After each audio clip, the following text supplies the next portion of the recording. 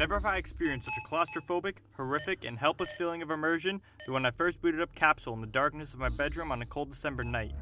Created by Adam Saltsman and Robin Arnott and produced by Finji, Capsule creates an atmosphere using the simplest graphics, a short list of controls, and a bleak universe. Capsule is about traversing through the unforgiving depths of space in a small, weaponless escape pod, trying to piece together the disastrous events that led to you being stranded in the middle of the void, desperately trying to keep your ship powered and yourself breathing. Adam Saltsman, creator of the arcade runner Canabalt, began working on a prototype for this game in 2011 after playing the classic Lunar Lander cabinet at a convention in San Francisco in 2010. He was imagining a game that marries Lunar Lander's tight analog controls and the cold atmosphere of a computer console. The concept was finally realized when Saltsman recruited sound engineer Robin Arnott, the developer of SoundSelf, which is a game, I think? The world of Capsule is seen through a faded, archaic radar console which, other than the sounds made by your pod colliding into various pieces of space debris, is the only way to understand and learn about the space around you. The main objective is to receive messages that slowly unfold the tragic events that occurred in the game world, but the bulk of the game is spent purely surviving and finding air pockets, fuel cells, and ion vents that will boost your pod's meager supply of life support the smallest amount, which is the difference between life and death later in the game.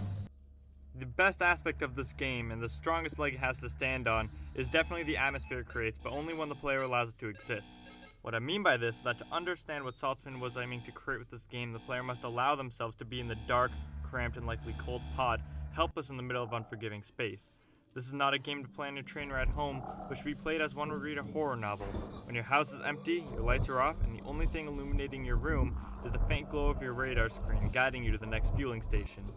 While the novelty of the game's UI is enough to warrant this small purchase, the thrill of finding the next ion vent, the feeling of dread and panic as you watch your lifeless pod stand in the center of nothingness while the screen slowly loses color as your last reserves of oxygen dwindles down to empty, is enough to let the game take you for a ride you will not be forgetting anytime soon.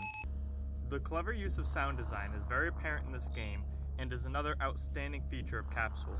Arnott's use of echoes, three-dimensional sound, and the faint droning noises in the background add to the ever-growing atmosphere this game prides itself on.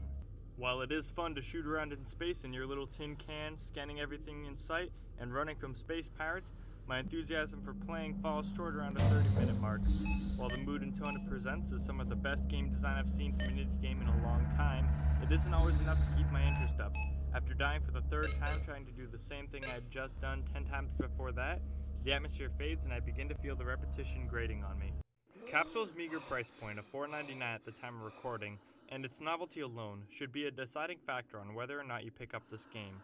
Although it may not have the gameplay behind it for a lengthy play session, I would still tag this as one of Steam's hidden gems and recommend throwing it in your cart next time you're browsing for something new.